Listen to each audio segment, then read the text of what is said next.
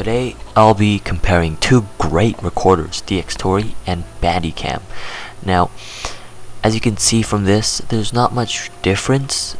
It's just um, Bandicam lags a bit behind Dxtory, but uh, the quality standpoint, there's no difference. Now, in the red border is Dxtory, and in the green border, it's Bandicam. Now, first things first, let's compare the quality, let's say.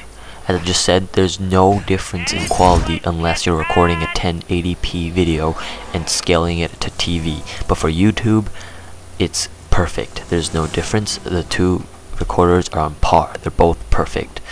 Now, the second thing is speed. Um, if your game runs at 60 FPS, you want to record 30 FPS for YouTube, Bandicam scales the game down to 30 FPS, while Dxtory still maintains the game speed at 60 FPS and records at 30 FPS. So you can play it at a smooth frame rate, and uh, Bandicam though just locks at 30 FPS, which is pretty annoying.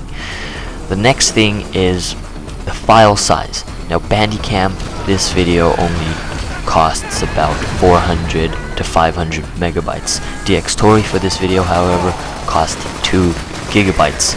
Now basically if this translates into 800 megabytes for one minute video on Dxtory and uh, basically around 200 to 100 megabytes for one minute video on Bandicam. It depends on what game you're recording, what uh, uh, um, frame size you're at. The higher the frame size, the higher the file size.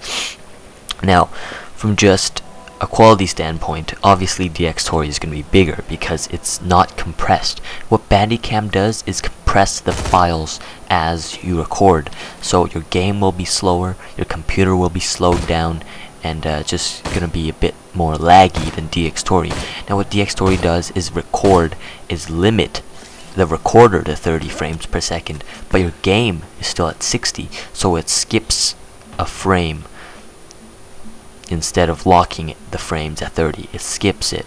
So then you can be faster and uh, more fluid when you play but the video will still be at 30 FPS now that is basically it for this video. The comparison the quality is the same but if you're somewhat of more of a uh, if you want the best take Dxtory if you want something to accompany your small hard drive take Bandicam. Now Bandicam has false small file size 500 megabytes or 400 for this video. It's easy to use.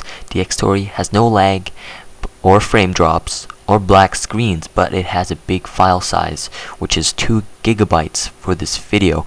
Um, although Dxtory does have more features and it's overall more rounded and it's better than Bandicam. So I was saying earlier, if you want the best, go for Dxtory. Thank you for watching this video, and I will see you guys soon.